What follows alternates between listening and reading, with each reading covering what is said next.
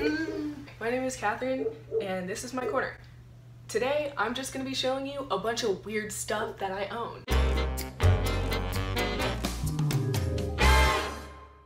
Now be warned, because when I say I have weird stuff, I mean I have weird stuff. Honestly, I really don't know if I should even make this video because I grew up around this stuff. Like my dad collected weird and I just thought it was normal. Well, now that I'm bringing out all these things, I'm like, God, people are gonna think I'm so weird.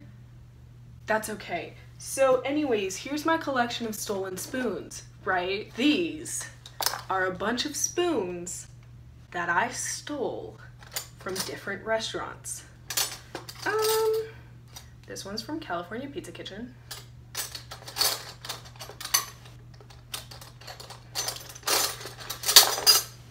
Just a fork. Okay, I'm done with that. Anyways, now, why the fuck do you have a collection of spoons? You might ask. And that's a very good question. I'll make a video on that another day. This, if you are aware of what La Madeleine is, this is a table marker.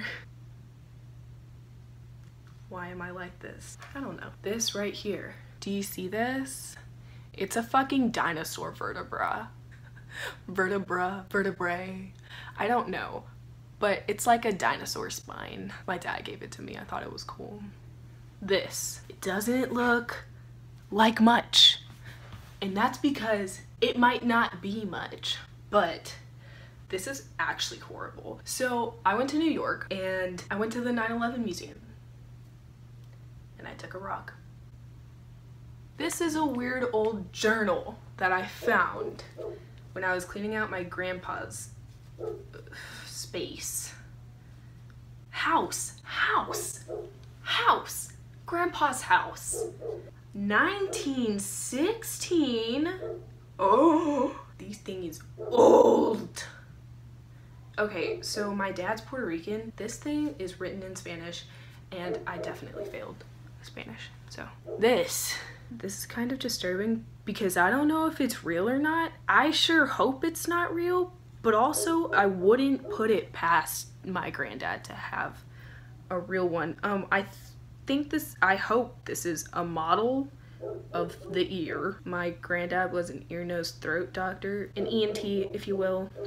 And so this is like your e I don't want to put it there. No, I I don't know if it's real or not, but I I just I, I don't know. This is by far one of the one of my most favorite things that I have. It's really fucking weird. It's a whole piranha on a necklace. Like that's disturbing. That's fucking strange. Why do I have this?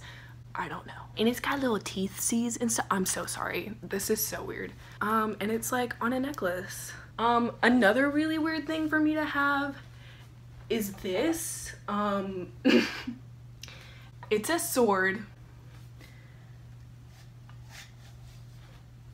It's a sword. I don't know if it's sharp, but I don't want to try and see. But yeah, this is my sword. Honestly, these things are like really heavy. This is a sugar-free Red Bull can that somebody ran over in a parking lot and I picked it up and kept it.